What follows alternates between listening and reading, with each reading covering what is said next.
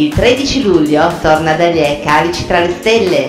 Protagonista la selezionata Enogastronomia d'eccellenza con 13 aziende vitivinicole e due cantine ospiti della Romania. Degustazioni di prodotti eccezionali con i maestri del gusto e la straordinaria presenza di Simone Rugiati, grande chef e conduttore televisivo. E ancora Corona Events, protagonisti di moltissimi eventi di caratura internazionale con il loro spettacolo Dreams. Sabato 13 luglio, tutti e Dalie a Carici tra le stelle, la cultura del gusto, il gusto della cultura.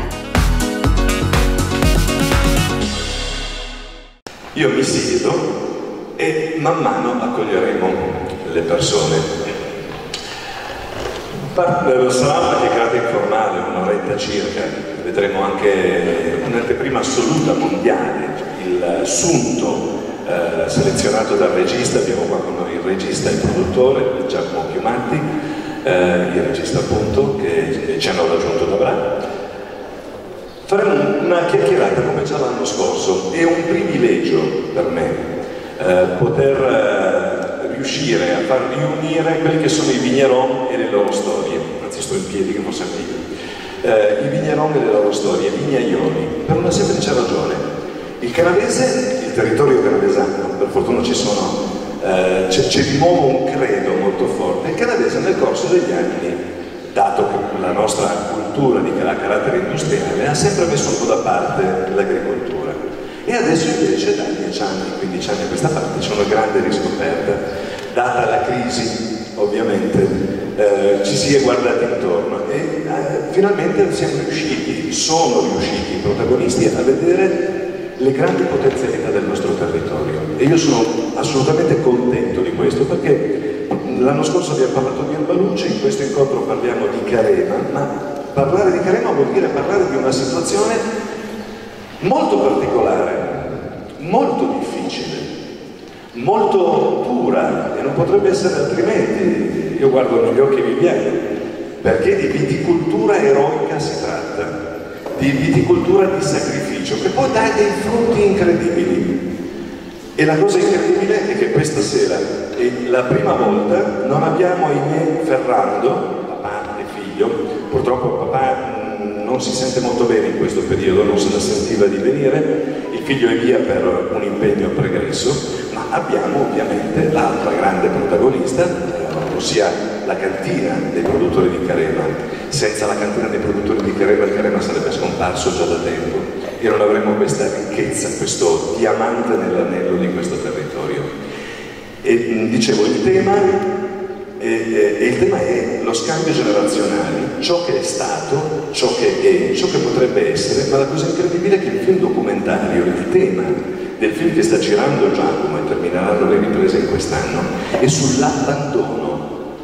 Per cui adesso toccheremo con mano una realtà eh, che negli anni è andata via via scemando e adesso finalmente di nuovo un respiro, eh, un grande respiro, un potenziale grande respiro. Eh, bisognerebbe produrre, se, se, si potesse produrre 20 volte il crema che si, produce, che si produce oggi, sarebbe già tutto venduto in prenotazione più o meno, o sbaglio, è vero Viviano? Allora io vi invito ad accogliere un applauso il presidente della cooperativa, della cantina cooperativa di Carema, Viviano Gassi.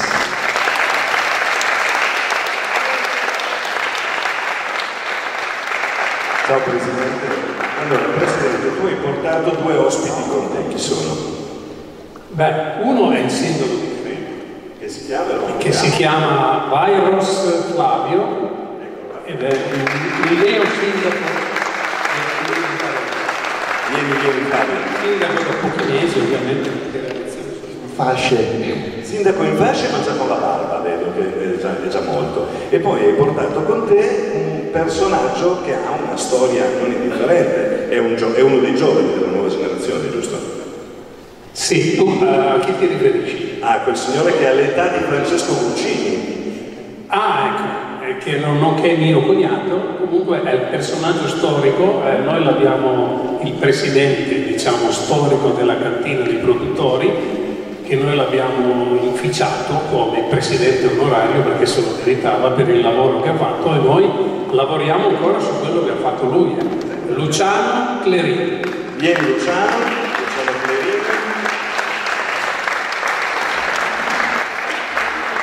Abbiamo avuto modo di fare, di fare due chiacchiere con, eh, con, questi tre personaggi devo dire che la, uno dice il canavese la gente è sempre molto triste, non è assolutamente vero Uh, questi tre personaggi sono persone che invece infondono veramente gioia ed allegria e ve lo posso assicurare. La nuova generazione. Io chiamo qui con me il giovane amico che ho visto crescere praticamente in goliardia, è già protagonista l'anno scorso, non lo vedo, Vittorio Garda. Dove? Ah, eccolo là, vieni Vittorio. Un applauso a Vittorio Garda.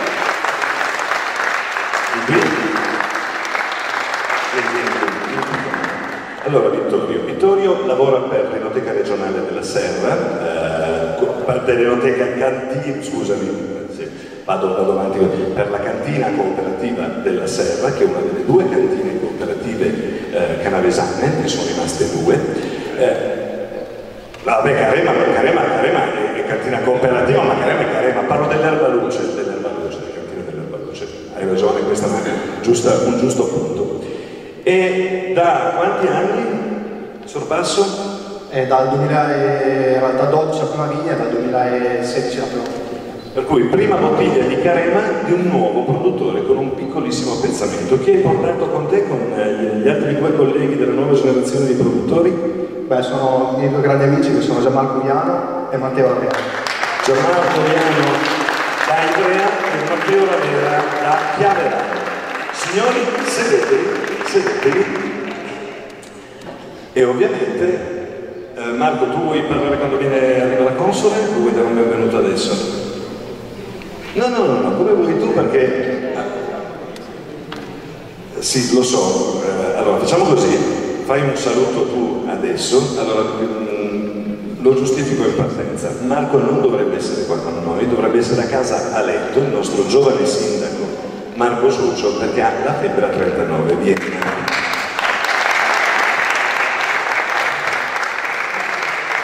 Vieni, vieni. Allora, a questo punto siediti un attimo lì così non ti faccio stare in piedi, ti lascio il microfono e fai un saluto almeno. Eh, eh, sei tu che ospiti questa bellezza qua. Ma mi, tiro, mi metto in piedi. Grazie Daniele per la presentazione e grazie soprattutto per aver messo in piedi questa bella serata. Calici tra le stelle, io esco un po' dall'argomento perché chiaramente eh, siete voi gli addetti ai lavori e è giusto che ne parliate voi. Calici tra le stelle è una festa che nasce alcuni anni fa e ogni anno è sempre cresciuta. Questo momento culturale l'abbiamo introdotto lo scorso anno e devo dire che stato un upgrade importante rispetto a quella che era la manifestazione che si svolgeva in una sola giornata. E credo che sia importante anche conoscere questi aspetti, queste piccole peculiarità legate alla produzione del vino che chi non è un addetto ai lavori come sottoscritto e come tanti di noi chiaramente non conoscono e quindi eh, questi momenti di approfondimento sono assolutamente importanti. Eh, approfitto per ringraziare e salutare gli amici che arrivano dalla, dalla Romania che sono nostri ospiti, eh, come porteranno un vino ospite che potremo degustare anche questa sera, saranno presenti domani sera alla serata blu di Calici tra le Stelle e abbiamo con loro anche inaugurato questo, eh, questa novità dell'avere ovviamente tutti i vini locali e poi ogni anno da qui in avanti avere un vino ospite. Quest'anno sono i vini che arrivano dai loro territori e sicuramente credo che un confronto eh, tra le nostre produzioni e le loro e potersi confrontare, parlare, tessere rapporti eh, sia culturali che magari anche commerciali, chi lo sa è sicuramente un aspetto importante. Quindi io ringrazio voi tutti per la vostra presenza e vi ringrazio anche per averci ospitato eh, nei vostri territori nel mese di marzo scorso. Direi che a questo punto io posso ri ritornarti il microfono, fra un po' arriverà anche la console a cui faremo fare un saluto. E grazie per la bella serata, ovviamente vi aspettiamo tutti domani sera a partire dalle 19.30 per il momento clou di Calici tra le stelle di Piazza Castelli. Brunello. Grazie mille. Grazie Marco. Io do un consiglio a Elena. Elena, se tu ti metti lì dietro e lui ti lascia il posto, tu traduci per tutti quello che accade. Traducendo anche tu? Mettiti in mezzo, mettiti in mezzo. Vado solo un po' fuori per vedere se è. Ah, ok, va bene, va bene. Allora, Viviano, quando io ho telefonato, ragazzi, quando io ho telefonato a Viviano dicendo vorrei fare un incontro, l'anno scorso abbiamo parlato di Erbaluce, c'erano i grandi, eh, gli storici dell'Erbaluce, eh, i più vecchi, i più anziani, i più, i più forti, quelli che hanno mantenuto alto il nome dell'Erbaluce. E quando ho telefonato a Viviano, Viviano gli ha detto, senti, volevo fare un incontro su Carema a questo punto, perché voglio dire, e ogni anno dovremmo mettere insieme qualche cosa, magari parlando di, di un presente che sta migliorando. Lui mi dice, ma lo sai che è la prima volta, gli ho detto, vorrei fare un incontro generazionale, no? E c'è, la cantina, eh, che, ha anche molti giovani ovviamente che lavorano, c'è Ferrando per fortuna, esatto, c'è Ferrando, e poi ci sono queste tre piccole nuove, realtà piccolissime, lo possiamo dire, no? Step by step. Sa- Sai che è la prima volta, lo posso dire, vero? Viviano mi dice, Daniele, sai che la prima volta sarebbe il primo incontro che facciamo tra le generazioni, cioè tra noi e le nuove realtà produttive. È stata un'ottima idea. Ma io sono felice, questo, Viviano, questo per quello che io dico privilegio, hai capito? Perché sono gli uomini che fanno la storia e quando gli uomini si incontrano la storia migliora. A volte si scontrano, e anche dagli scontri nascono dei bei fiori. Viviano, allora, eh, per chi non è mai venuto a Carena, o per chi c'è già stato e lo ha, intanto voglio salutare, sta arrivando il presidente delle della strada reale dei vini della provincia di Torino, nonché eh, vigneron della Masera, Alessandro Comotto. Grazie Alessandro di essere con noi. Allora, vogliamo raccontare, eh, fare un excursus, saremo molto sintetici, un excursus, la storia della cantina, magari fra, fra voi due che siete quelli che la storia la conoscono. Beh, lui sicuramente la conosce meglio di me. Passagli pure il microfono. Tra l'altro anticipare una piccola cosa. Lui è mio, è mio cognato, ma non, Cioè, hai sposato, hai sposato la parte bella della famiglia. non si direbbe, ma è mio cognato. Non si direbbe, perché non si direbbe? Eh, lui sta facendo, sta costruendo un libro sulla storia di Carema, sul Carema in modo particolare sulla storia della nostra cooperativa. Un libro che praticamente, possiamo dirlo, praticamente ultimato e che noi vorremmo pubblicarlo il più presto. Perciò sarà motivo di un altro incontro tipo questa sera per presentare il lavoro che ha svolto, un lavoro molto importante che, eh, che ha un significato eh, da un lato, ma può avere un significato ancora migliore perché deve essere di auspicio per una continuazione, per continuare su questo, su questo, a lavorare su questo territorio, perché è un territorio molto particolare, difficoltoso, ci sono tutti che dicono, la chiamano la cosiddetta viticoltura eroica.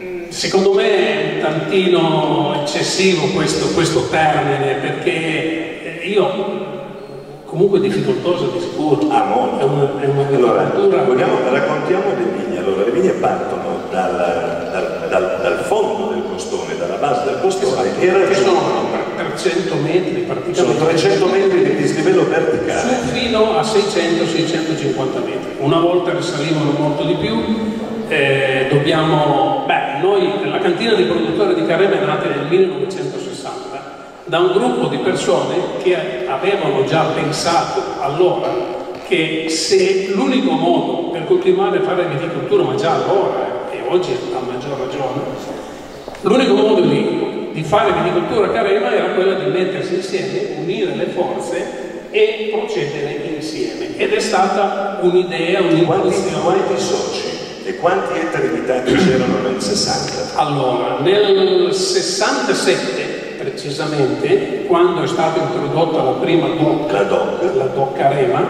Sì. primo Rino Rosso tra l'altro Esatto, ricordiamo, ricordiamo che in Piemonte la prima DOC bianca è stato l'Erbaluce di Caruso nel 67 e la prima DOC rossa della provincia di Torino è stato proprio il Nebbiolo di Carema. Allora eh, sono stati eh, iscritti alla denominazione circa 38 ettari di superficie abitata. Quindi una, una micro ma macro per il tipo di territorio. Beh, diciamo di sì, eh, il problema era quello che allora c'erano di più, ce n'era di più di superficie abitata. Però non tutti i viticoltori hanno iscritto i propri terreni alla DOC per un semplicissimo motivo, avevano una certa ragione d'essere quest- questa, questa decisione, perché una volta si vendeva il, il carema nell'anno successivo alla vendemmia o quasi. Mentre il disciplinare Mentre il disciplinare dell'OR prevedeva 4 anni di invecchiamento più l'anno di vendemmia. Perciò chi voleva ve- vendere il carema, una bottiglia etichettata di carema, doveva aspettare minimo 5 anni dalla vendemmia della stessa. Perciò era una cosa, era terrorizzante la cosa per i viticoltori di allora. Oggi abbiamo una superficie, noi come come, cooperativa, come cooperativa. come cooperativa abbiamo una superficie iscritta appunto alla nostra cooperativa, lavoriamo a tutti gli effetti, una superficie di circa 14 ettari e mezzo, Dai Dai 38 originari. dai 38 originali. Quindi qui andiamo poi al discorso che approfondiremo storicamente del famoso abbandono. Eh, beh, certo. Tre- eh, 14 ettari e mezzo e poi adesso sommati a quelli che Aspetta, stanno... tu Ferrando, che è un tuo caro amico, mentre invece Roberto e papà, quanti ettari hanno? Ferrando hanno sempre fatto careva, da Sì. quando siamo nati noi, ne fanno due ettari e mezzo. Caspita, Penso di sì, una cosa di questo genere. E caspita. poi adesso ci sono i nuovi che si stanno E adesso invece, approcciando a questo tipo di... di giusto per avere un'idea degli ettari a disposizione, tu Vittorio quanti ettari hai? Ma produttivi sono meno di un ettaro, il totale sono un ettaro, sto intorno ai 7.000 metri produttivi e un ettaro che dobbiamo finire di piantare, insomma. Eh, tu Gianmarco? Esattamente come lui. Gianmario, scusa. Gianmarco. No, Gianmarco, sì. 3.000 abitati eh, in produzione e un 3-4 mila metri di piantine che devono ancora crescere. E tu invece? Noi siamo sui 5 Microfono, microfono. di vigneto Quanto prosciuttivo, mezzo ettaro? un 3.000-4.000 di nuovo impianto e un 2 ettari di potenziale. Ah, quindi, quindi Il nostro grosso lavoro è stato il recupero dei colti. Territorio e per di adesso abbiamo tagliato piante, tagliato spine e stiamo iniziando a piantare l'idea di avere circa 3 ettari alla fine. Allora, Sommato, quanto fa? 20 ettari, 22. allora, tu mi hai detto che ne hai 14. 14. 14, due li ha Ferrando sono 16, 17, 18, 20. 20. 20 ettari sui 34 che erano allora, calcoliamo 34, Sì. ce n'erano di più ma calcoliamo 34. Sì. Poi non entro nei dettagli perché questo potrebbe farlo benissimo e meglio di me Luciano in questo caso. Perciò a Carrera c'è un potenziale molto ampio. Quanti sono gli ettari possibili all'interno della DOC non vitati al momento? Beh, questo è un dato difficile da, da- da- da dire. All'inizio, all'inizio del 1900 c'erano circa 100 ettari di superficie vitale. Mi piange il E cuore. adesso una parte di queste ettari sono coperte dai castagni, perché è una certa Ci sono ancora i vigneti, eh, perché se entriamo, entriamo adesso, cioè, sarebbe anche più comodo perché c'è una strada che sale su fino al- all'Alpe Maletto, che è a 1600 metri, che sale in mezzo a questi vigneti. Una volta quella strada lì non c'era mica, la facevano tutti con la gerla a spalle, A spalle, e sì. avanti in gomma, su e giù, su e giù di continuo. no? Adesso sarebbe anche più comodo, ma ovviamente sono appezzamenti molto piccoli. Per far capire quanto piccoli, noi per eh, lavorare una superficie di 14 ettari, siamo in 70, 69 per la precisione. 69 soci che lavorano in una superficie di 14 ettari, Cioè, che fa una superficie media vitata di circa aziendale di circa 0,2 qualcosa. eh, ettari. 0,25. Cioè, e- e- Perciò una, una, una viticoltura, Quali una sono? gestione molto costosa. Allora, quali sono le difficoltà, proprio quelle fisiche, materiali, Luciano? Ma ce n'è più di una ovviamente. E, intanto l'economia caremese si è sempre basata non solo sull'agricoltura ma anche molto sull'industria. Sull'industria ovviamente. soprattutto fine della seconda guerra mondiale. Certo. Noi abbiamo sempre lavorato in agricoltura part-time, sia part-time con il lavoro industriale, sia con altri settori dell'agricoltura, cioè molta gente aveva sia la zootecnia sia la viticoltura. Certo. Per cui a Garema, salvo poche eh, eccezioni, eh, avevamo sempre un'economia di sopravvivenza.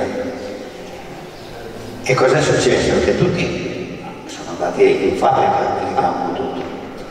E, e fino a quando ci sono stati delle tipologie di lavoro che lo consentivano, cioè lavorazioni tornarie, la gente tornava a casa e poi andava in campagna, invece di mettere la maglietta col coccodrillo e andare a giocare a tennis, eh, andavano a- in vigna a, a zappare. Tendenzialmente la Io, stessa... io non ho mai avuto la maglietta col coccodrillo, tanto per intenderci. Ecco. Luciano, te- tendenzialmente la stessa situazione che si viveva eh, nel basso canadese, Nel la basso grande canadese. specializzazione del vitino e dell'erba luce. Certo, certamente. Poi eh, è chiaro che come eh, il livello di vita si è alzato, i lavori più faticosi e più difficili sono stati un po' abbandonati. E quindi abbiamo avuto questo abbandono del territorio terribile. Io mi ricordo, proprio perché ho l'età di cugini, come diceva eh, il signore prima, che noi portavamo giù l'uva con le slette, cioè portavamo su una sletta con delle ceste molto grandi e poi quando avevamo, le avevamo riempite a- nelle camere, nelle cantine con questa, con questa sletta. Quei vigneti sono stati tutti abbandonati, anche se adesso, come diceva Viviano, eh, c'è la strada, però eh, salvo Ravera, mi sembra che, che- che si chiami, no? È Matteo, che ha estirpato piante, eccetera, nella zona di Airale, e conosco bene, da, su nella- nell'area principale di Gareva questo non è avvenuto e continua a esserci lo spopolamento della... nonostante non ci siano assolutamente problemi di vendita di vino. E questa è, è la cosa ridicola. E noi siamo ben contenti, questo ci tengo a dirlo come eh, vecchio produttore e vecchio socio della cantina, anzi ormai eh, non so se come età ma come data di, diciamo così, di appartenenza sono sicuramente più vecchio. Noi siamo ben contenti che ci siano le nuove leve.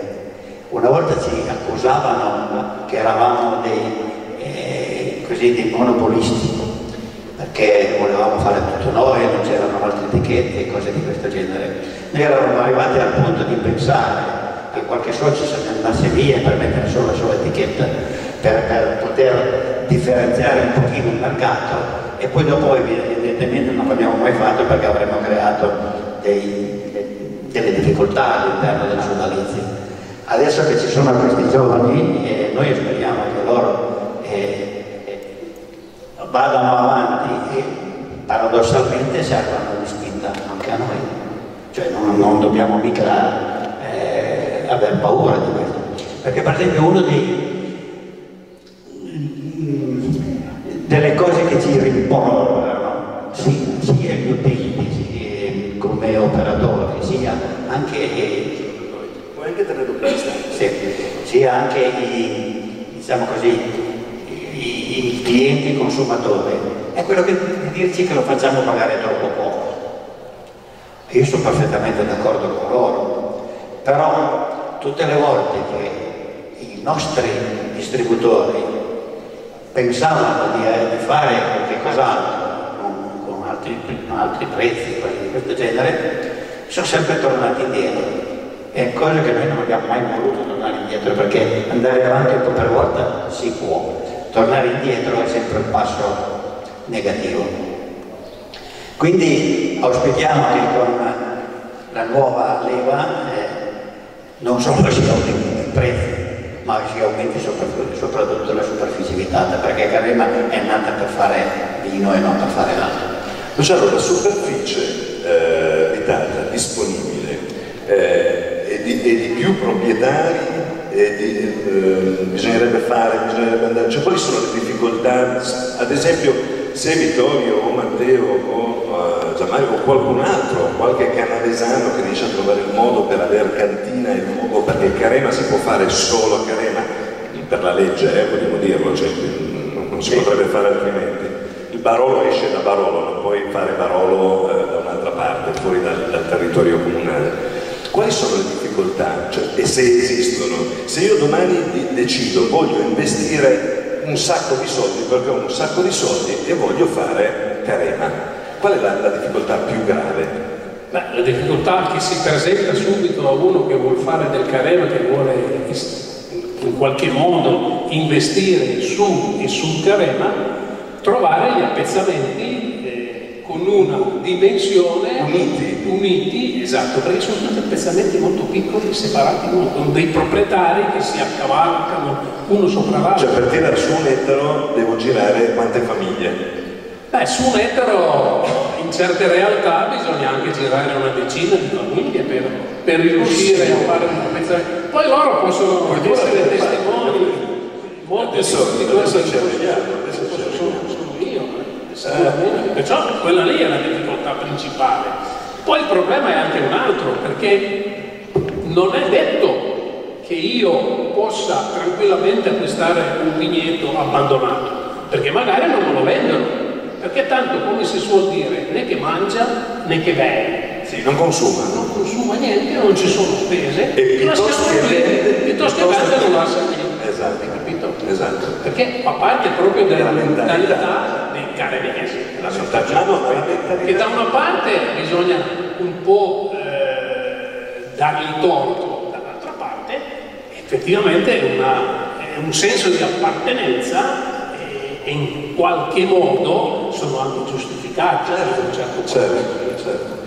Eh, Luciano prima ha detto il, il- il costo- il prezzo del vino. Allora, io a questo proposito, eh, è una cosa che amo, amo dirla, perché allora, lo ammetto, io sono un nebbiolaro, un nebbiolista, eh, non solo convinto, sono un estremista del nebbiolo, nel senso che proprio per me non esiste neanche il Pinot Noir, cioè le- le emozioni che mi dà il nebbiolo è un gusto personale ovviamente, non me ne dà nessun, e ho bevuto dei grandi Pinot Noir, evidente, o dei grandi Sangiovesi, e quindi dei grandi, toscani, dei super toscani, eccetera, eccetera, eccetera.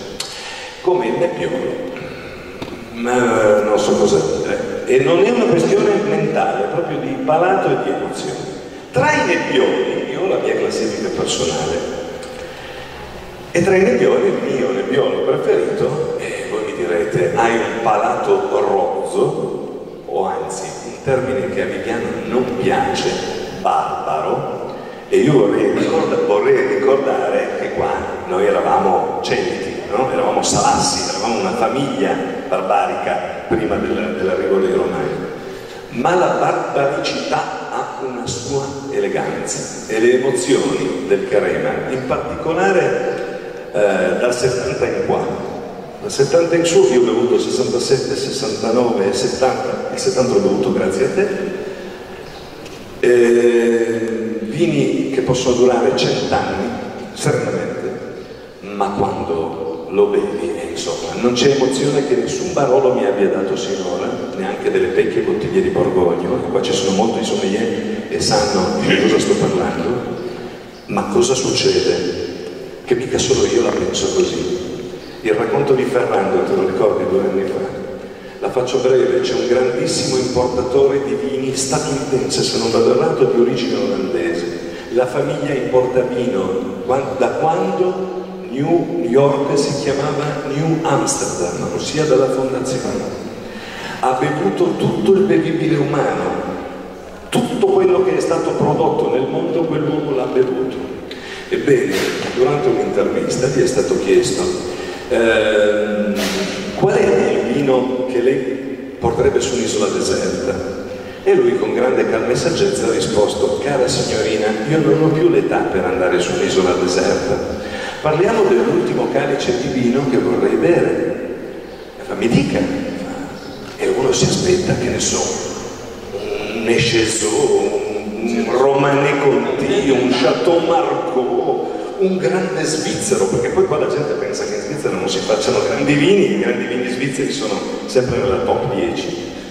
No, un Carema, dirò anche l'anno e dirò il produttore, un Carema 1982 di Ferrando.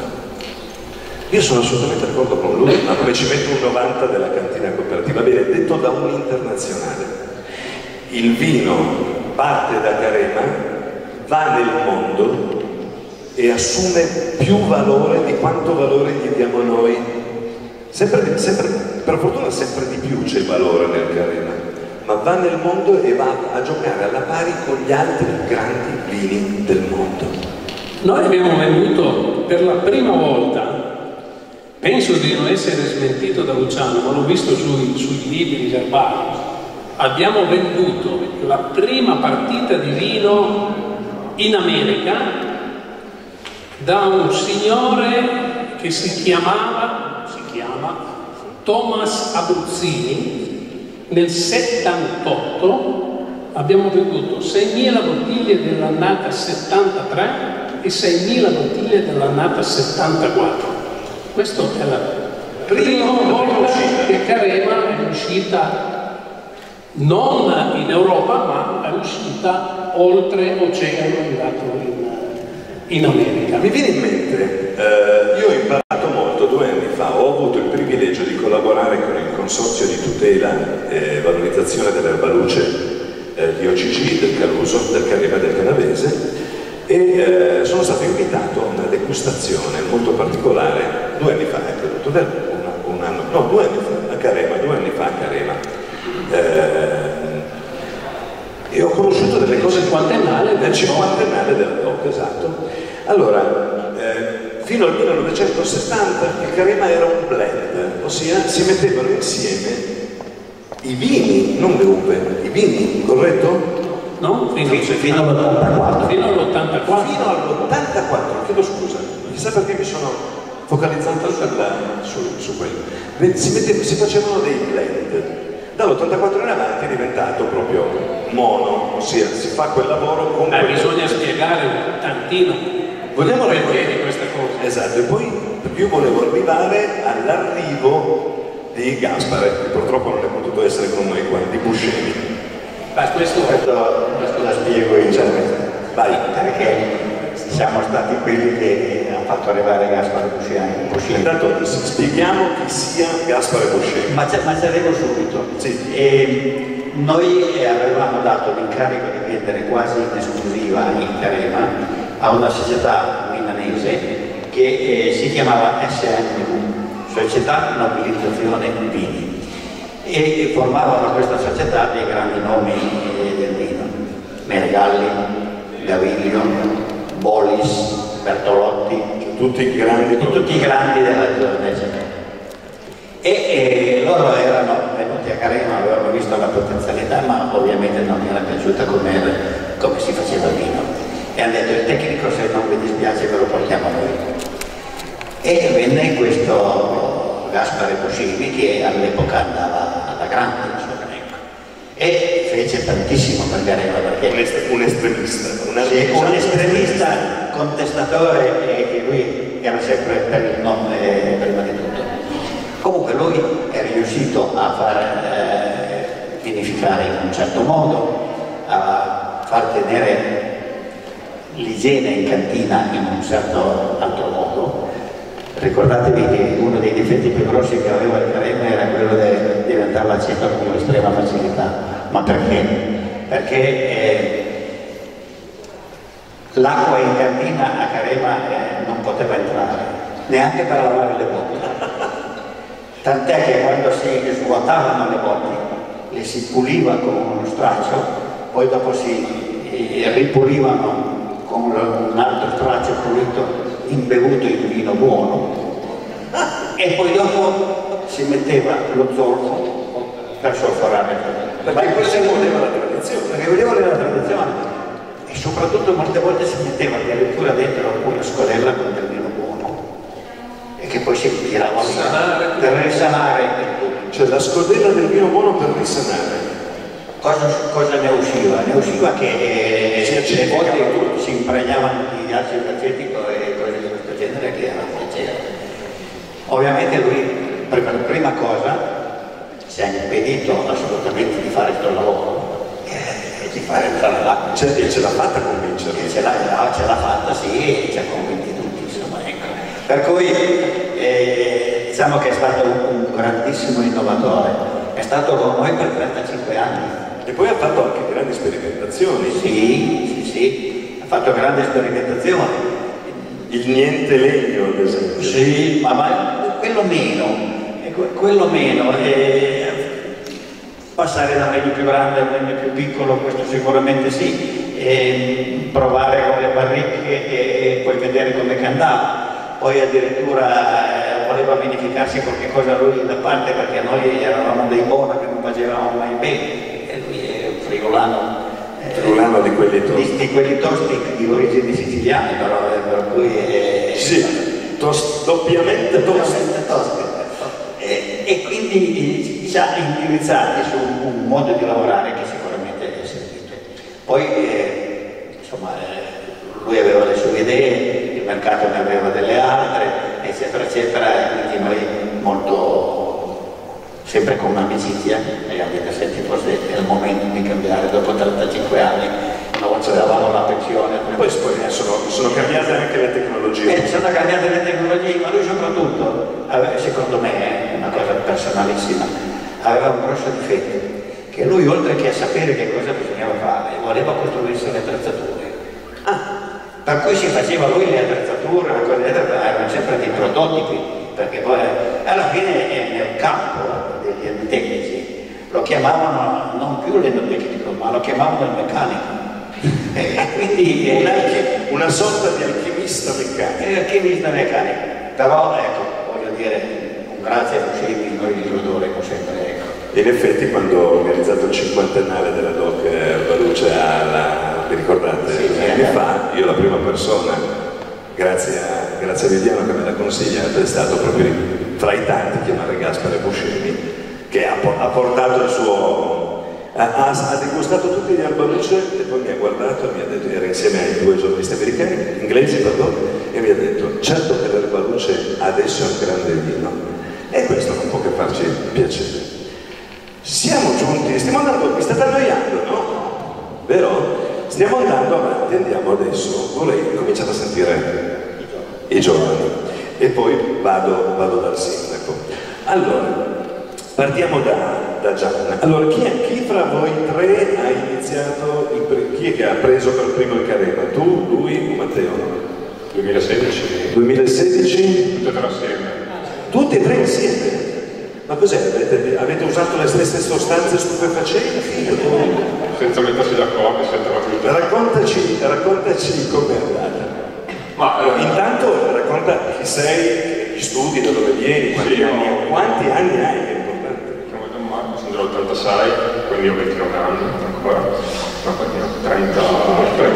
33 anni. Eh, eh, ma la mia storia insomma, è un po' particolare perché io eh, ho fatto un sommelier, quindi ho fatto il sommelier nei ristoranti stellati ehm, per 7 anni, ho girato un po' l'Europa e l'Italia e a un certo punto per esigenze di stile di vita, di cambiamento di stile di vita, di famiglia, eh, ho voluto provare a staccarmi da, quel- da quell'ambito, sempre cercando di rimanere all'interno del- mm, della mia passione per il vino. E, fatto un piccolo excursus eh, come sommelier all'interno di una sala di degustazione a Barolo. Mi ricordo, mi ricordo, io. Sì, eravamo visti, eravamo per te per la prima volta. E, e da lì poi, mh, bazzicando un po' in cantina, mi sono più appassionato alla parte della produzione. E avevo puntato da qualche anno Carema perché era non so, un gioiello incastonato dove da 50 anni c'erano due produttori e sicuramente era un, un posto dove ci poteva essere del potenziale. Eh, e perciò ho preso la mia prima vigna, eh, 500 metri di vigna in una zona difficilissima eh, dove c'è un sentiero a piedi, insomma non proprio un inizio facile.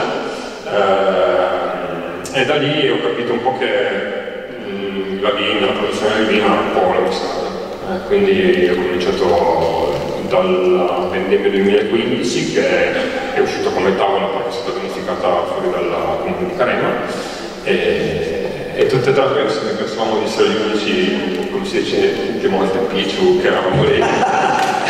Sottile vorrei ricordare per, per tutti che il termine Picciu è identificativo di un folle, tradotto è folle. E poi ho incontrato Vittorio, ho fai te con Matteo e alla fine la cosa più bella secondo me è che eh, nessuno di noi ha fatto il lupo solitario ma insomma abbiamo collaborato, c'è chi ha trovato vigneti per me, io ho trovato vigneti per altri, magari in posizioni più comode, eh, quindi è un perché, perché Accademia il problema è la comodità per raggiungere la linea. Sì, come diceva.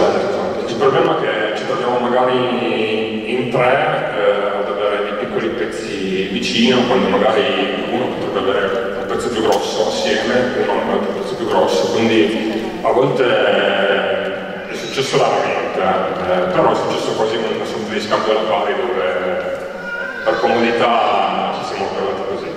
Eh, comunque, Senti, tu, anche tu sei uno di quelli che ha dovuto girare 10 famiglie per andare a prendere i pezzettini. Ma io ho avuto fortuna perché sono andato alla vendemmia 2014 in vendemmia, eh, ho chiesto a gente che vendemmiava eh, se sapevano di quello come la vigna e avuto il numero di una persona a cui purtroppo era mancato il papà che seguiva la vigna e, e da lì ho cominciato e pian piano insomma magari se ti vedono ti dicono ma guarda che c'è un altro vigneto, vigneto che, che lasciamo più o meno adesso ci siamo assestati a questi 7.000 metri il territorio. Il problema nostro sicuramente è che questo è un momento è un lavoro domenicale di sabato quindi eh, più di questo momento oggi difficile davvero fare eh. quante, quante, dunque tu sei a che vendemmia imbottigliata?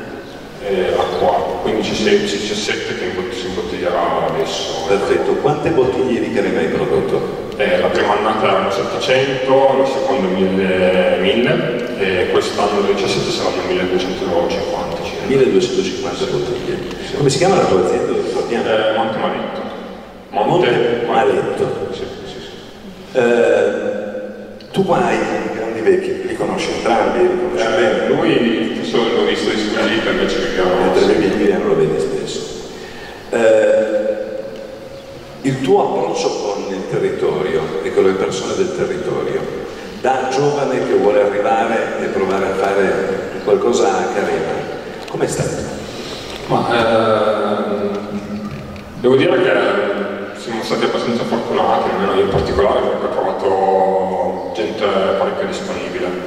Eh, sicuramente è difficile per noi, eh, contento che c'è il sindaco di Carema, il sindaco, perché la nostra difficoltà davvero è andare a intercettare eh, i, i, proprietari dei vigneti. Io avevo scritto una lettera da Dighieri l'altro anno, purtroppo non ho avuto risposta, però davvero sarebbe un servizio utile che eh, ci fosse una sorta di sportello comunale dove io ho un bosco dico che è un bosco e chi è interessato all'acquisizione di questo bosco per uh, ristrutturazione dei vigneti possa accedere a questa sorta di database, no? uh, in modo che ci sia un contatto, perché mh, noi tra l'altro non siamo di Carema, quindi per me è ancora più difficile entrare all'interno del tessuto sociale, eh, però è davvero difficile, ok c'è un bosco, bellissima, posizione fantastica, ma andare a trovare il proprietario è proprio molto difficile. No, poi in certi casi non è un proprietario unico, magari è un pezzo indiviso che ci sono 10 proprietari, in magari 250, 300, 500 metri. Esatto. Le misure sono quelle, la realtà. Sì, ma Perché è- noi, noi ragioniamo in centimetri quadrati, non in metri. E, e mi è capitato due mesi fa di trovare un pezzo sono andato al catasto 10 proprietari, mm, penso tutti intorno anni 20-30, eh, alcuni deceduti, altri che dove sono, quindi C'è una ricerca che diventa folle. eh, ci sono delle proprie impossibilità. eh, Beh, ma è molto bello come idea riuscire a prendere, non dico un impiegato, prendere un professionista, lo metti via a lavorare per un bel po' di tempo e riuscire a fare questo database, non sarebbe male, non sarebbe male. Tra l'altro adesso c'è stata una vendita di un privato che ha ceduto al comune, adesso è proprietario il comune, ha sen- per sentito dire, Aldighieri questo, il sindaco che ti ha Il sindaco precedente. eh, sta facendo dei lotti, suddividere questi pezzi per poterli vendere. Io potrei essere interessato perché ho acquistato un pezzo prima, tre pezzi dopo, Certo. e- ma mi mancherebbe ancora quel piccolo rettangolo per completare un appezzamento che dopo sarebbe già da 2300 metri quadrati. Cioè, Quello lo voleva già sapere. No, non è quello lì che dico io, perché quello che rimane, che pieno di rovi, misurerà 250-300 metri quadrati. Matteo, Matteo Ravera, Dacchia, Buonasera a tutti. tieni un po' più distante così si sente meglio. Matteo, Eh, presentati. Sì, sono Matteo. Ehm, io ho avuto un- una L'età, formazione. ferma, quanti anni hai? Quest'anno 38. 38, ma riporti mica male. Me sei anche più contrario. Ehm, intanto vabbè, ci tengo a dire che non sono solo io nella mia avventura carenese, perché la mia è una società che conduco con altre due persone che non sono potute venire questa sera e sono un supporto fondamentale perché, come loro hanno detto, il lavoro a Careme è tantissimo, gestire tanto lavoro da soli è molto pesante, gestirlo in tre è un pochino pesante, cioè tanto si chiacchiera quando si fanno le cose e, e si fatica o passa il tempo un po', un po' più facilmente. Ci sono anche Ruby e Alessandra nella, nella mia avventura, con eh, i quali, grazie ai quali ho iniziato perché io ho avuto una formazione di tutt'altro genere. All'università studio filosofia, sono specializzato in antropologia culturale, ho fatto un po' di ricerca. Siamo in due. Stesso percorso. Andata così. E sì, la vita c'è sempre stata perché l'avevamo in casa, per me il babysitter era il nonno, per cui si andava nella linea, ho imparato più o meno guardando a fare cose, andavo a pasticciare, non è che andassi a fare altro. Però sono quelle, come dire, avventure che uno vive in un determinato momento eh, della vita e che ti segnano veramente per sempre.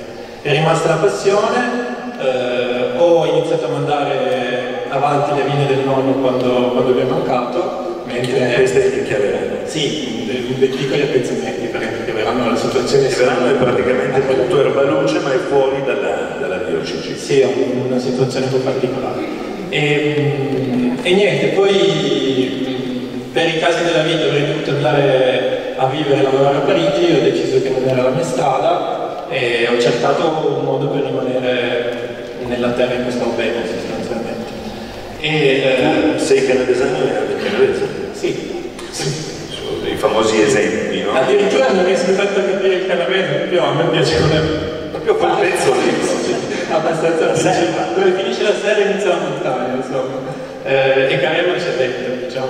Ehm, ho iniziato un'attività, cioè un'azienda viticola con vigna Palazzo Pigrone, dove faccio un rosso d'erba luce e poi sono entrato in contatto tramite un amico con una persona di Carema che aveva delle dighe che avrebbe voluto dare qualcuno perché non ce la faceva più a starci dietro e da solo non la sono sentita di affrontare anche questa avventura perché chiaramente già lavori mille ore al giorno con un altro lavoro per riuscire a stare dietro un'azienda, il tempo finisce banalmente. E allora, grazie a, a questi due soci che si sono uniti a me, abbiamo deciso di, di affrontare eh, questa nuova avventura, che è stata un pochino fare vigna e tanto fare boscaioli. Eh, l'hai detto poco fa, quanto, quanto, quanto praticamente nell'ultimo periodo lo stai passando di sboscare. Sostanzialmente adesso abbiamo finito, però abbiamo passato un po' di inverni col Monte Sega più che con le forbici, quello sì.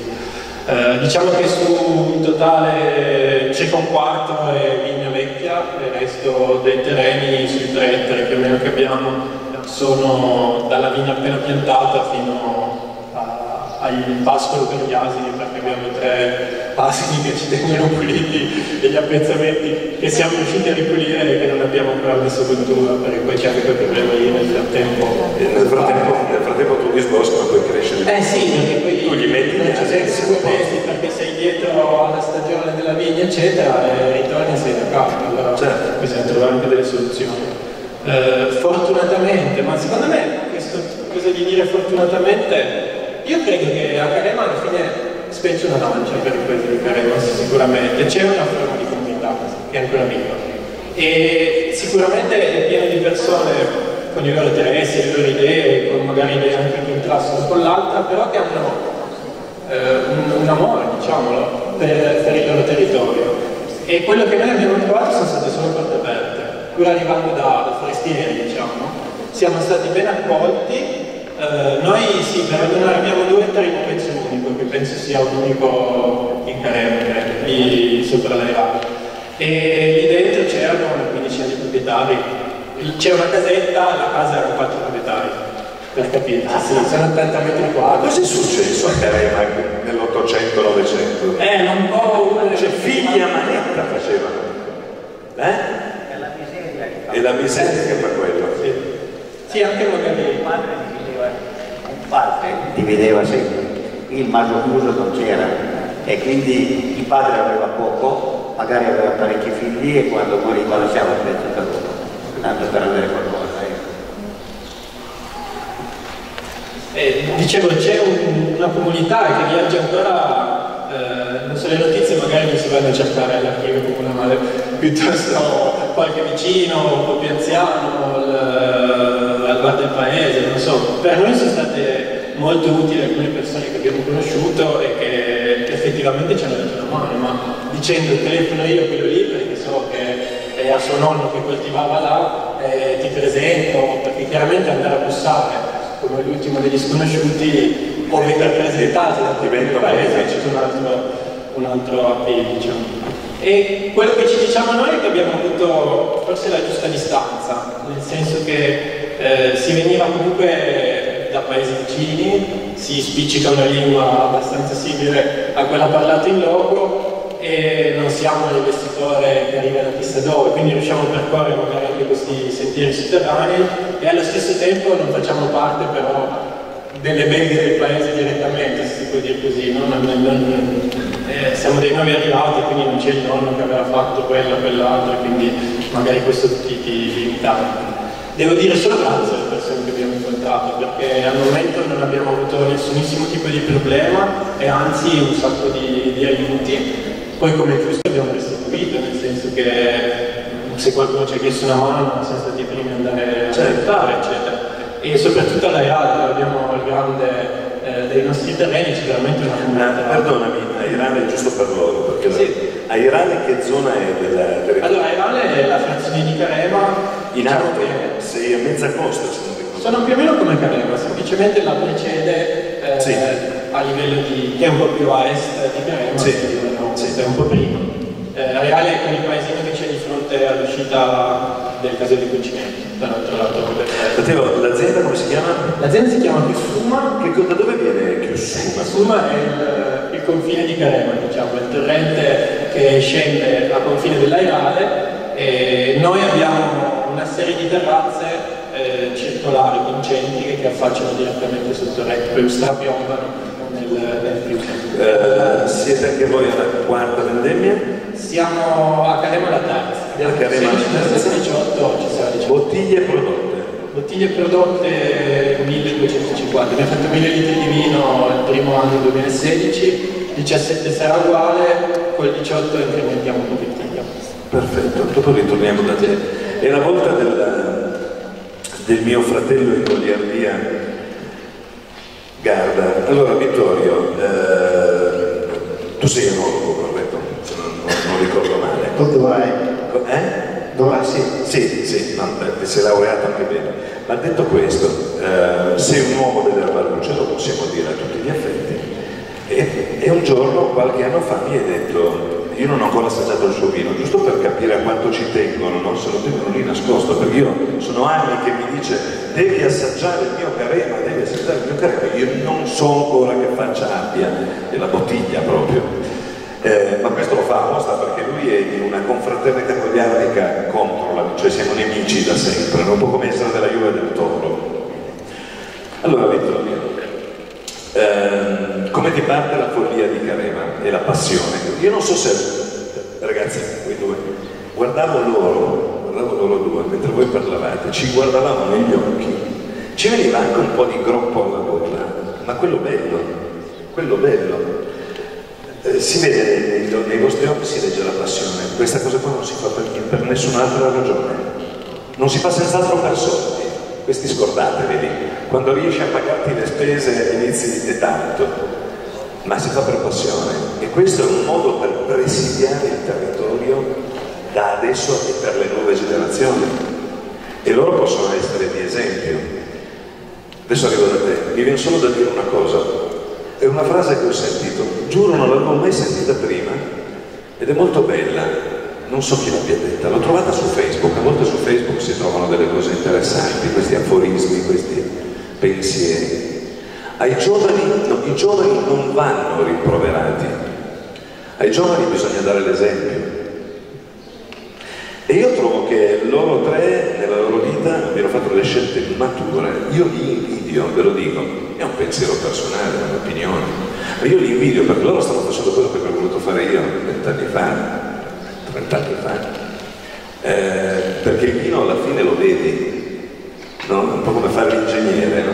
quel ponte lì l'ho fatto io, quella casa lì l'ho fatta io, le, le vedi le cose che fai. Sembra poco ma è una cosa... È una cosa incredibile, io, io invidio gli artigiani, io sono un uomo di parola, ho fatto l'attore e l'autore, eh, se non avessi girato quelle 3-4 cose non mi vedrei, eh, ma poi chi se ne frega, tu non lasci niente, parole che vanno nell'aria. Eh, quando arrivi alla fine, io che amo il vino, che conosco i, tanti vignaioli in tutta Italia, e quando arrivi al giorno della vendemmia e lo metti lì, lo metti a, a bada, no? lo tieni lì, e dici questi sono i miei figli.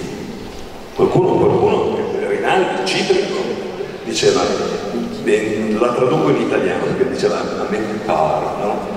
Mi è più cara una bottiglia del mio Barolo di mia figlia, chi conosce Rinaldi, chi conosceva me, più tra di noi, Citrico, eh, cioè, diceva la verità, perché noi banalizziamo il calice di vino quando lo beviamo, spesso e volentieri, il vino è un alimento quotidiano, lo beviamo come beviamo, spesso e volentieri ho visto bere il vino come bere la Coca-Cola. E invece dietro... Che parli di te stesso, no? No, no, scusa, no, ci mancherebbe altro, sono un anti-imperialista. Eh, neanche a Prasquere, piuttosto prendo del bicarbonato, ma dietro ogni volta che voi alzate un calice di vino eh, e lo osservate in trasluce, eh, Alessandro ne beve tanti, dietro ci sono ore, ore, ore, giorni, giorni, mesi di lavoro, di lavoro, di sudore, di sacrificio, di sacrificio folle, a volte anche di coppie che scoppiano, a volte di famiglie che si distruggono, c'è lavoro lì dietro, ci sono le ore della nostra vita, esattamente come un prodotto agricolo, come una delle tome di Matteo Villa che assaggerete tra poco, che fa l'affinatore. Tendiamo a banalizzare i nostri gesti quotidiani. E dietro invece c'è vita, ore di vita e personalità, perché poi il carema che si fa in cooperativa sarà diverso dalla cantina del sorpasso, sarà diverso dalla più suma, esattamente come un barolo di erbaluce, ogni erbaluce è diverso dall'altro perché dentro c'è il carattere, la personalità e le scelte del produttore. Toio, Vittorio, sorpasso, come ti nasce questa idea? E poi mi spieghi anche il sorpasso, perché so che ti piaceva Dino Risi, Ma eh, innanzitutto la mia azienda non è, non è solo mia, ma di Martina Ghirardo, che è la mia compagna che è laggiù in fondo. Sì, Martina la martire di Vittorio, che cosa raggiunto, benissimo. Tanto paga le linee, insomma, è il mio supporto quotidiano, il pilastro aziendale. E, vabbè, è da quando sono piccolo che mi piace il vino. Eh, Sì, lo so, quando ti ho conosciuto avevi 18 anni e lasciamo perdere. Era la mia sua passione. E certo, Eh, quindi sempre avuto sogno di, di fare vino ed è quello che poi fondamentalmente ho sempre fatto nella mia vita, cioè, ho studiato, vabbè, quello ok, ma è fatto. Eh, è vero che ho cominciato con i bianchi, eh, è verissimo perché ho sempre fatto alba luce, però ehm, non so, mi ha- essendo che i miei primi vini, le mie prime passioni sono state i vini che mi faceva assaggiare mio nonno, che aveva una grande passione per la ranga, per me è nebbiolo, quindi è biologico, certo. E quindi questo sicuro. Eh, sorpasso è un'idea di Martina, eh, noi abbiamo cominciato nel 2012 con le prime vini che abbiamo affittato e le prime due annate noi le abbiamo bonificate perché quando parti da Ivrea per andare a Carema, a Carema piove, poi torni indietro, eh, il sole a casa, lo vai su, continua a piovere, cioè, e quindi il morale, le prime annate non le abbiamo, non le abbiamo fatte, le prime annate sono state nel 2014. È stato il 2014, eh, anche per, nel mio caso, nel nostro caso, come già Marco, come due annate, 14 e 15 le abbiamo chiamate Canavese Viola perché abbiamo vinificato il settimo lettone, quindi Carema Ecco, spie- spiegale questa cosa. Fuori dal territorio della DOC di Carema, o come fuori dal territorio della diocesi dell'Erba Luce, eh, in questo caso nel rosso c'è questa possibilità, cioè fuori da Carema è Nebbiolo, è una delle, una delle, delle DOC, Canavese Nebbiolo, che è Nebbiolo in purezza, come Canavese Barbera e Barbera in purezza. come Barolo e, Nebbiolo, anche Nebbiolo. Oh, esatto, come Nebbiolo e Langhe Nebbiolo. Eh, Ma come ad esempio il... eh, però bisogna specificarlo per, per i vini canavesani. Canavese rosso invece, disciplinare molto ampio e uno mette quello che ha, dalla Barbera alla Bonarda, anche a volte del Nebbiolo. Vai avanti. E quindi abbiamo cominciato poi, eh, eh, perché necessariamente dovevamo trovare un luogo per, per vinificare, se volevamo... In Carema. In Carema. E anche perché non nego che da- dai, dai primi anni in cui abbiamo cominciato notavamo che comunque questo è un vino che suscita un interesse che non è differente. Io credo che nei tantissimi difetti che sono nei giovani di oggi, perché siamo carichi di difetti, mm, non ci manca la voglia, ci manca la voglia di lavorare sovente, siamo Insomma, però una, dei- una delle, delle- delle- secondo me delle qualità che abbiamo è che eh, non siamo proprio stupidissimi, quindi è, oggi- è logico che andiamo a cercare qualcosa che, su cui veramente possiamo costruire un progetto grazie al quale crescere le nostre famiglie. E questa secondo me è una, è una cosa fondamentale per il futuro. E- ed è per questa ragione che eh, abbiamo avuto mm, fortuna, anche se poi alla fine io non credo tanto nella fortuna, credo nelle capacità che ci sono nelle persone, perché i progetti li fanno le persone. E abbiamo trovato una casa da Irade in cui potevamo fare, vivere insieme e fare la nostra cantina, che era una casa molto vecchia, di fine dell'Ottocento, però ci siamo fatti due anni eh, veramente difficili, però è una figata perché abitiamo e, e facciamo di nuovo dentro. Questa è cosa Aspetta, due anni difficili perché? Dici, non non, difficili non, perché- non raccontare tutto, ma difficili per quale motivo? Eh, banale, però quando apro un mutuo eh, non è una cosa semplice, i lavori eh, fissi non sono tantissimi, i precari abbondano, ma lo dice la parola stessa, però secondo me eh, in tutti noi tre, ma come in tantissime altre persone che ho conosciuto in questi anni, sai un'idea nella testa la raggiungi e, e la storia che abbiamo legato alla nostra azienda è quella di Esopo fondamentalmente ed è legata al nome della nostra azienda che si chiama Sorpasso e il nostro simbolo È la favoletta. della favoletta, il nostro, il nostro simbolo è la tartaruga perché non importa quanto vai forte, l'importante è raggiungere l'obiettivo questa è il nostro- la nostra filosofia Allora, parlando delle, delle, delle, dei vitigni, pardon, delle vendemmie, quante bottiglie produttive avete prodotto? Ma allora, per il 2014 600 bottiglie, no 500, 2015 circa 800, 2016 1200, 2003, 2017 1600, 2018 è stata una grande annata, penso che arriveremo intorno ai 2000 questa è una nata di merda, quindi penso po', penso per tutti. Questo è un francesismo. Eh, giusto per... Dopo grandi vendemmie purtroppo arriva l'anno che... Eh certo. Ma volevo solo dire una, una cosa, ma Prego, prego Vittorio. che secondo me, eh, non, non ovviamente non- tutti quelli che sono seduti qua e molti di, di quelli che sono seduti tra il pubblico, eh, c'è una responsabilità incredibile eh, che spesso ci, ci dimentichiamo, che mh, la forma di allevamento che, che è quella simbolo della viticoltura di Carema Bravo, sì, bravo.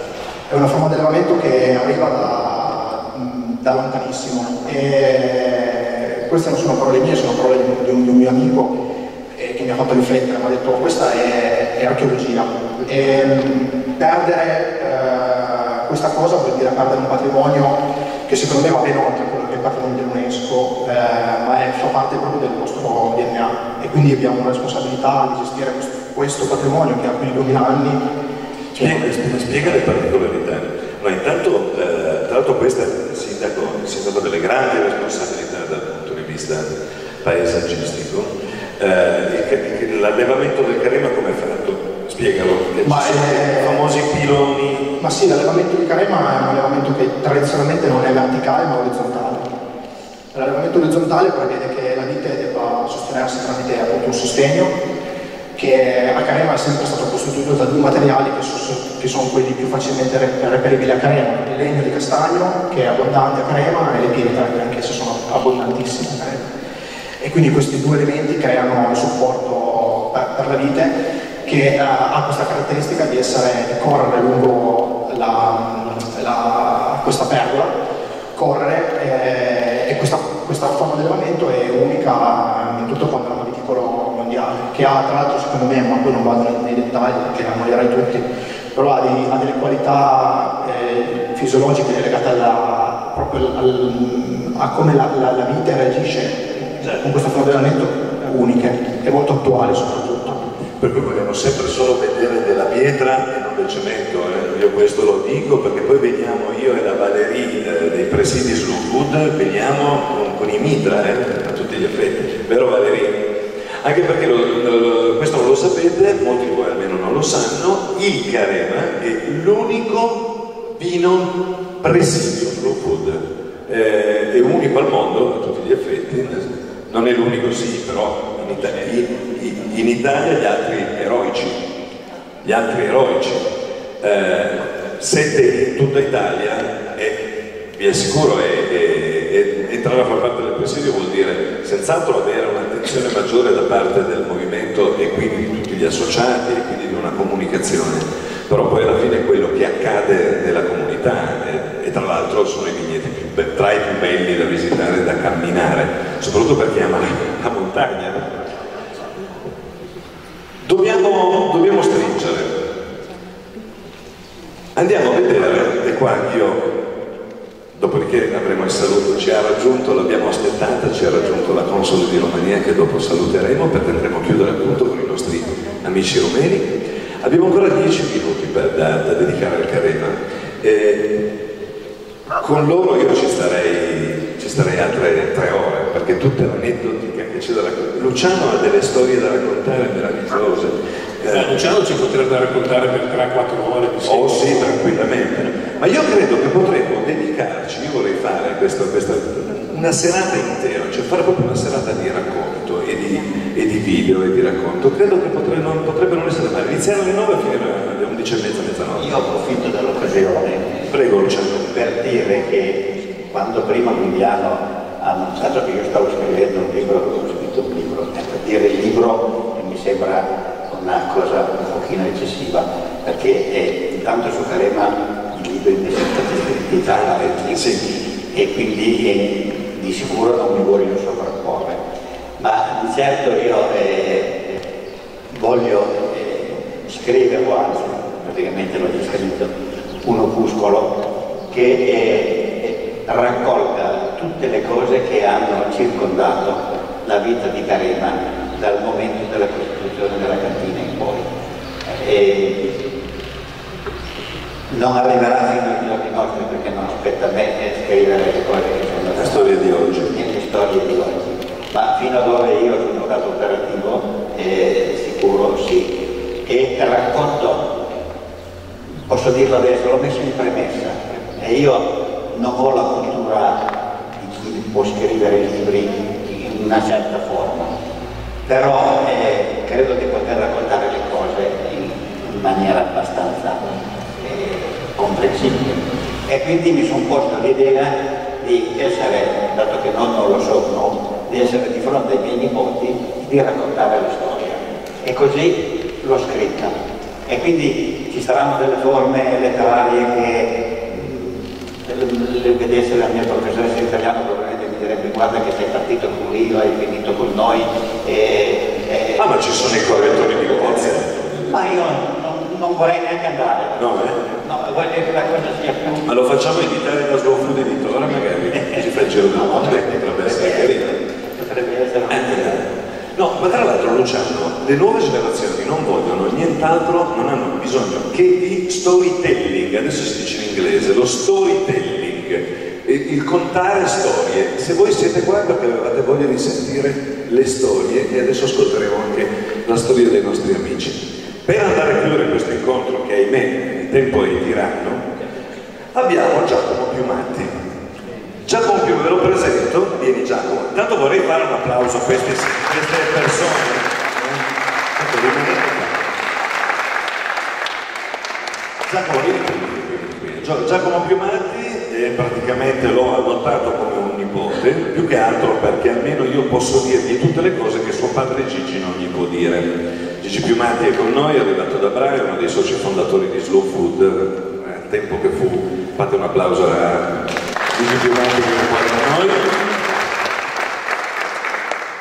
Io qua vedo le generazioni, io, qua- io- ovviamente io ho 30 anni in meno di Gigi, sono due generazioni diverse. Giacomo, Giacomo Piumatti, documentarista, eh, già sono, sono felice di averlo avuto ospite anche al, al Festival del Cinema di Cagliari che, che co-organizzo e sono, cosa sono, un anno e mezzo circa di lavoro o sbaglio? Eh, Gli passi, passi il microfono, Luciano, grazie. Quanto- quan- da quanti anni stai girando questo Molto, film? molto di più, molto di più. Ehm, vabbè, mi presento, sono Giacomo, come già presentato eh, Daniele. Eh, sì, eh, la lavorazione è già da due anni e mezzo che stiamo lavorando su questo progetto, più per colpa mia che mh, per, per questioni tempistiche, essendo un film completamente autoprodotto, purtroppo ha le sue esigenze. Perché scegliere, perché scegliere Carema? Cosa ti ha colpito eh, e quali sono le storie che hai voluto raccontare? Ma allora, a Crema ci siamo arrivati tramite Valerie, citato, hai citato Ganio Vecchiolino, donna di Slow Food, canavesana doc, vive più a Bra che altro, però adesso in canavese comincia ad avere una bella importanza la sua presenza, è una delle ragazze preziose, una delle nuove generazioni che sta aiutando questo territorio e dal punto di vista agricolo to court, quindi dei vari allevamenti, che dal punto di vista della comunicazione del territorio. Grazie Valeria.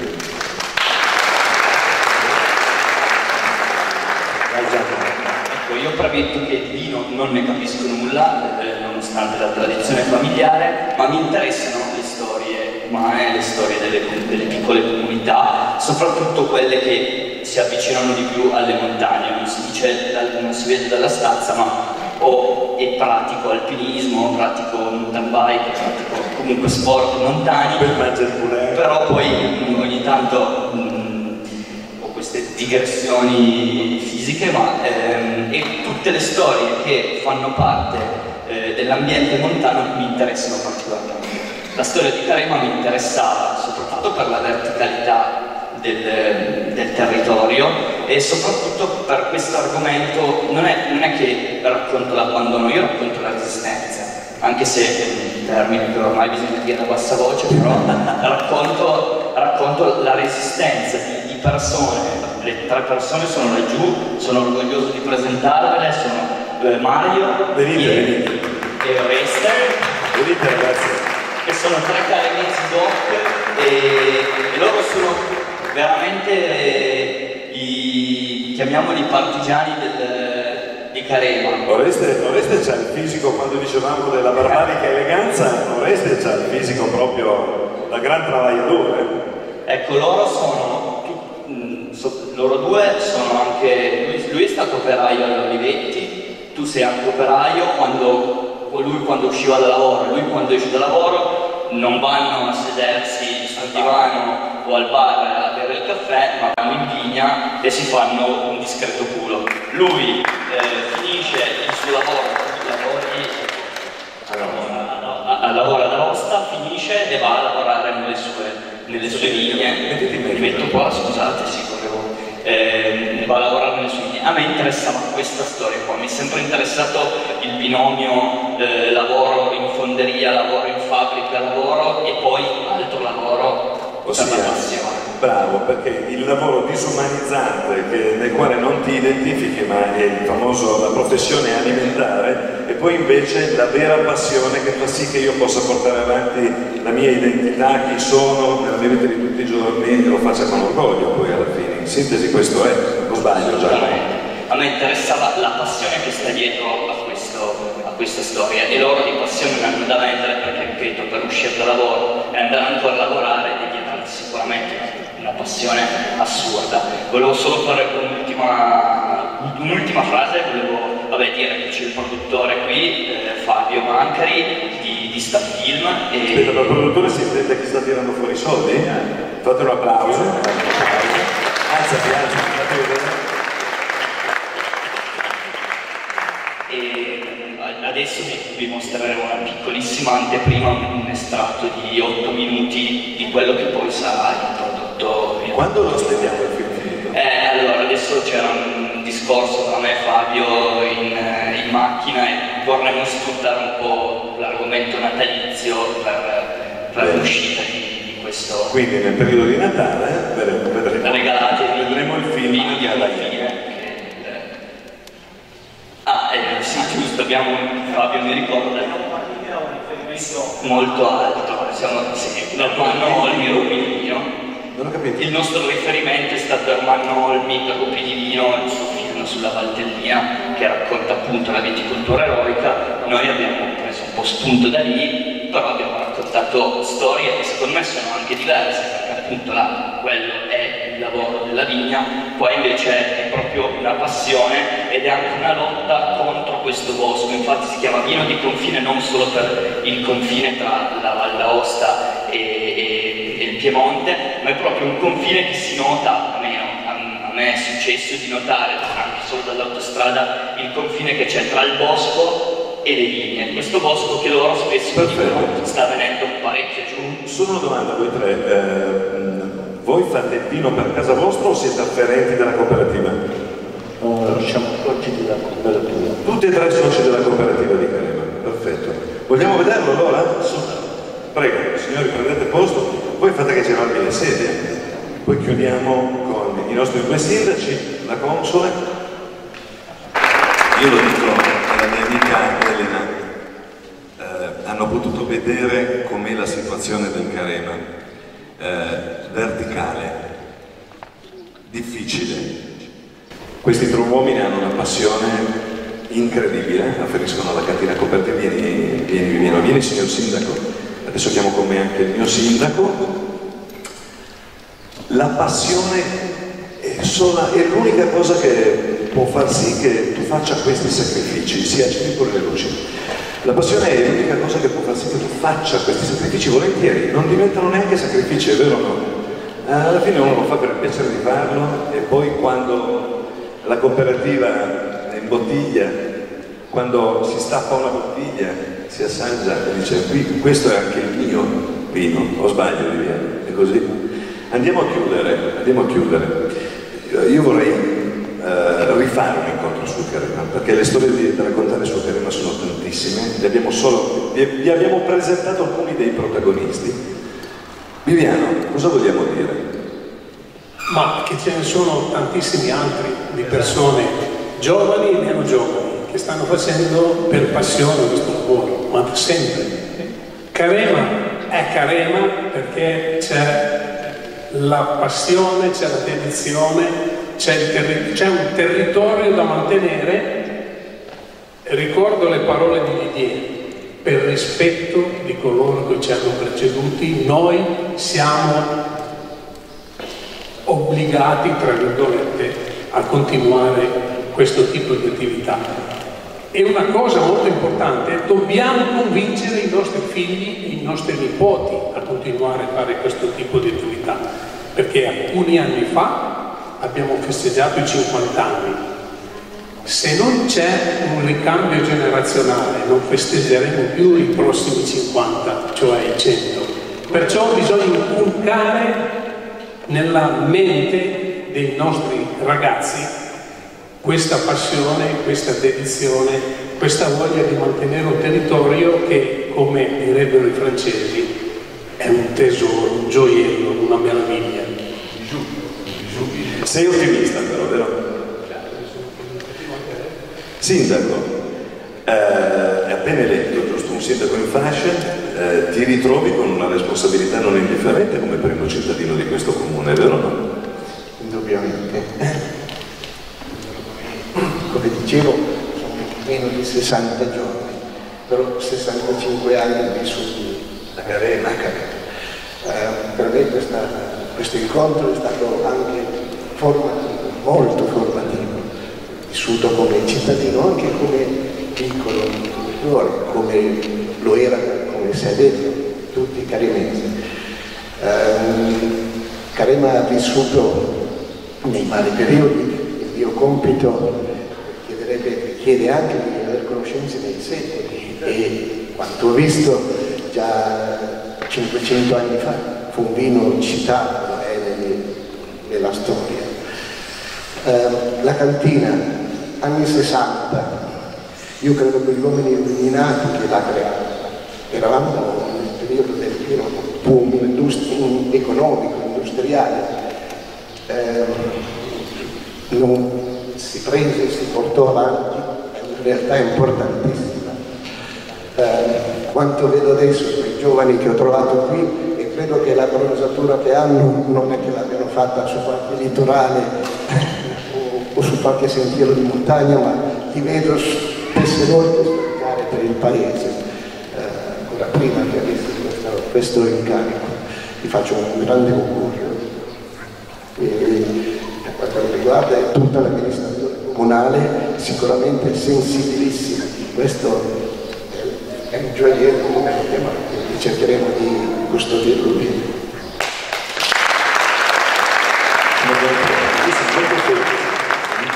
Te lo dico dal profondo del cuore, perché quello che vedo negli occhi di queste persone vuol dire che i semi sono buoni e vengono gettati in un bel terreno, come il nostro sindaco. Io ho scelto di venire a Stella Tagliere eh, nel 2000 oramai, sempre ieri, eh, ho detto se torno in canavese non torno nel mio paese di origine dove sono cresciuto fino ai 12 anni, poi sono, la mia famiglia partita, ma voglio tornare nel centro del canavese. E all'Ie, centro del canavese, io passavo le mie nottate in giro da, in cerca del fantasma di Gozzano, ero un romanticone, però sono ancora riuscito a baciare una ragazza, avevo 18 anni, 19 anni, sono riuscito ancora a baciare una ragazza dove? Davanti alla villa Meleto, nel famoso casottino, la palafitta, che era ancora intatta, era intatta, costruita con materiali deperibili, ahimè, l'incuria, la mancanza di attenzione o comunque eh, non, è, non, è, neanche un peccato quello che è accaduto in, in quegli anni, perché ci sarebbero voluti tanti soldi per che cosa? Per una cosa che però io ce l'ho fatta e ne sono felice. Quindi ho scelto di venire a stare da ieri e poi, eh, ormai sei anni fa, ho conosciuto Marco per la prima volta. Io non faccio vita sociale da dietro perché sono sempre via. E quando abbiamo parlato di calci allora di stelle, il mio privilegio è stato quello di dire va bene, voglio fare qualcosa per il paese dove, dove abito. E quando gli ho parlato dei contenuti per cambiare quella che era una manifestazione che non esisteva più, lui ha avuto, lui, l'amministrazione, la Prologo, non c'è stato bisogno di nessuno sforzo, hanno detto possiamo fare qualcosa di buono per il nostro territorio. Tutto è migliorabile, la nostra manifestazione sta crescendo, ma il fatto di invitare i produttori di Erbaluce l'anno scorso, di avere voi a Carena, potrebbe essere, la butto lì, l'inverno è sempre molto lungo e a volte a metà settimana non sa neanche che cosa fare se non abbioccarsi davanti al telecomando. E allora io ti, te, te la butto lì, pensiamoci a fare degli incontri come questo durante la, è più, è più bello, no? un po' come raccontarsi le favole e le storie quando fuori fa freddo, per incontrare gli uomini che stanno facendo grande questo canavese, nel mondo dell'albaluce, nel mondo dell'agroalimentare, dell'agroalimentare, i trasformatori e i produttori. Io, eh, voi gradireste una cosa del genere? Mi piacciono le idee? Parlato anche qualcosa.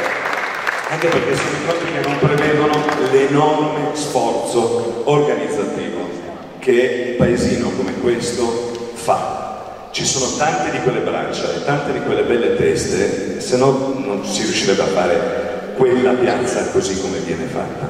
Ma dobbiamo chiudere e finalmente accogliamo la nostra deliziosa ospite, la, la, la console generale della Romania. Eh, eh, battesimo, non voglio andare a vederlo, Ioana Georgesh, l'ho pronunciato bene?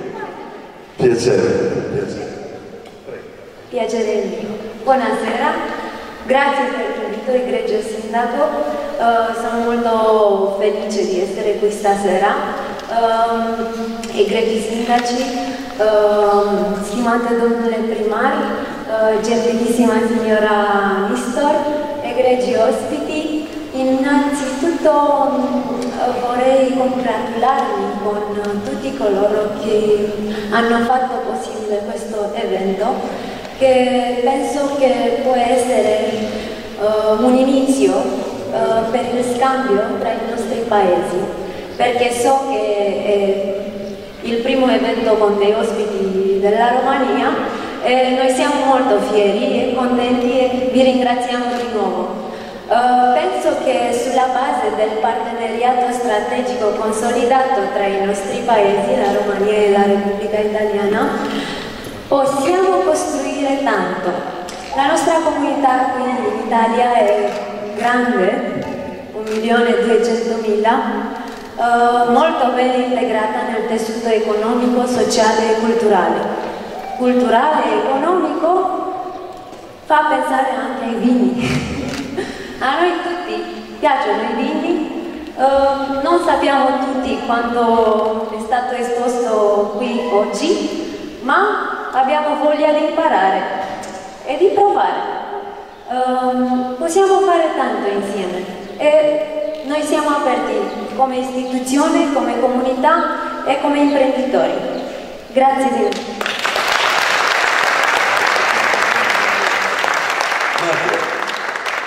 Per chiudere presentiamo le cantine, corretto? Elena, vieni con me, fate un applauso ad Elena.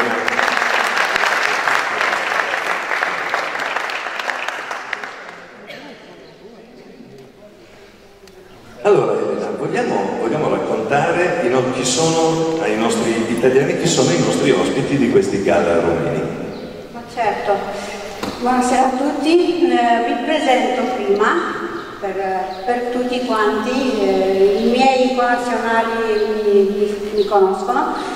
Sono Elena Nistos, sono io progettista, eh, nel, un ufficiale nell'albo di Europrogettista di Bruxelles, uno dei 70, unico rumeno, e sono orgogliosa.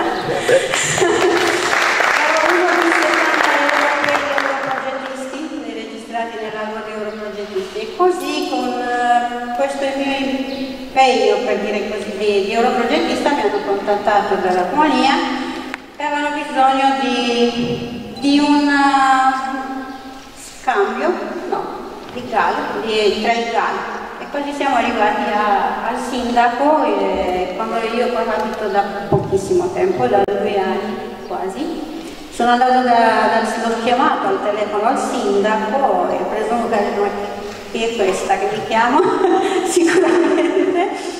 Gli ho spiegato in poche parole quello che avevo bisogno e ha accolto abbastanza, è stato molto aperto a tutto quanto e poi eh, gli è piaciuta la proposta anche perché si tratta di una proposta di reciproco, non, non, non, da una sola parte, da tutte le parti di crescita, che è un partenariato transnazionale qua. E così siamo arrivati a portare per la prima volta questa manifestazione delle cantine della Romania una delle cantine che è assente, che i loro proprietari, però sono gli altri che li rappresentano, che si chiama Bunjumare. Inizio con lei perché gli altri sono già presenti qui. Eh, ha come superficie piantata di 1190 ettari di piante su quale 60 ettari di Bunjumare sono sul rosso, produzione per il rosso, e 130 sono per il bianco. Uh, hanno, son, hanno, i migliori enologi che vanno a provare i loro vini, hanno partecipato a vari uh, fiere dove hanno, sono stati medagliati. Se, non secondi, non è un ordine di, di premio, è come, come, sono stati solo di presentazione, sono uh, Corcova, che infatti il sindaco senza sapere per dire così, la loro storia li ha invitati qua, siamo stati da, da loro in un cambio, infatti il sindaco di Corcova è qua a rappresentare eh, la cantina di Corcova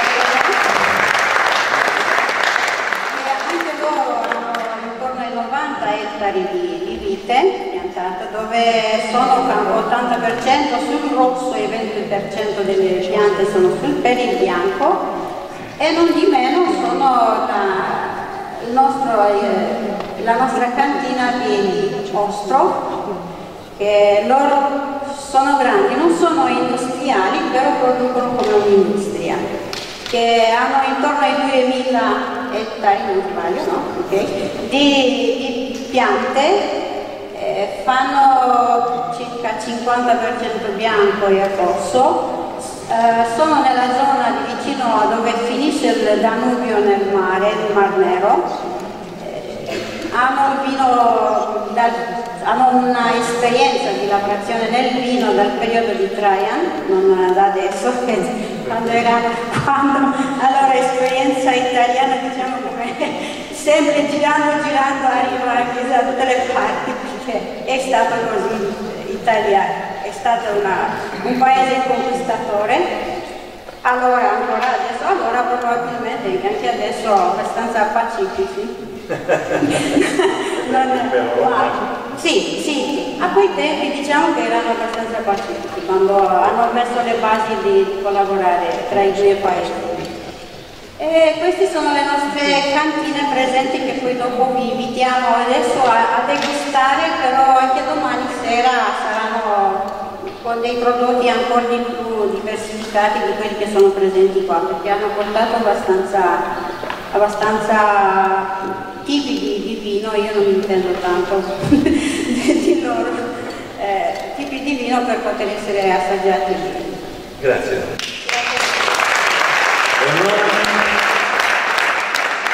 Io ringrazio ringrazio i nostri ospiti, ringrazio Giacomo Piumatti per uh, averci portato questo piccolo assaggio. Uh, vorrei ringraziare la disponibilità de, del console che, che ha accolto la nostra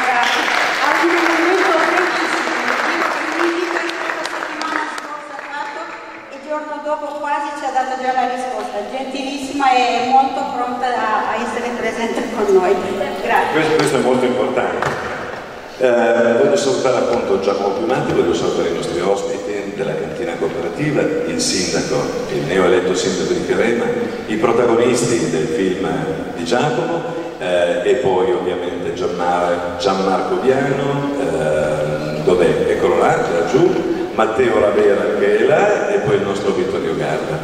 Per chiudere eh, ovviamente lascio il microfono al nostro amatissimo sindaco Grazie Daniele, ma io sono già intervenuto prima, quindi non ho assolutamente niente da aggiungere e soprattutto vorrei darvi più tempo per andare al, al rinfresco che ci aspetta. Quindi non mi resta che ringraziare tutti, ringrazio ovviamente la Console per essere qui con noi stasera, ringrazio i produttori di Carema, il collega neo sindaco di Carema che ha avuto il piacere di conoscere questa sera, la delegazione della Romania e ovviamente tutti gli ospiti, gli altri rappresentanti dell'amministrazione comunale, rappresentanti di di altri comuni, grazie a te Daniele perché come sempre hai saputo rendere speciale una serata e ti ringrazio tanto. Vi aspetto ovviamente domani sera in piazza mi raccomando, Carema. E poi voglio ringraziare anche Matteo Villa, perché Matteo eh, è un maestro del gusto, eh, è un maestro affinatore di formaggi, ossia formaggi prodotti in, eh, in Val Chiusella, eh, acquista da questi margari, dai, dagli allevatori, acquista tutta la produzione e poi nel suo piccolo cavò li, li rende dei gioielli che stiamo per andare a degustare, accompagnandoli con i vini rumeni e con, nostri, con il nostro carino. A domani, grazie di essere stati con noi. E bevete alba luce e bevete carino. Il 13 luglio torna da Lie Calici tra le stelle. Protagonista la selezionata Enogastronomia d'eccellenza con 13 aziende vitivinicole e due cantine ospiti della Romania. Degustazioni di prodotti eccezionali con i maestri del gusto e la straordinaria presenza di Simone Ruggiati, grande chef e conduttore televisivo. E ancora Corona Events, protagonisti di moltissimi eventi di caratura internazionale con il loro spettacolo Dreams. Sabato 13 luglio, tutti ad Allier a Carici tra le stelle, la cultura del gusto, il gusto della cultura.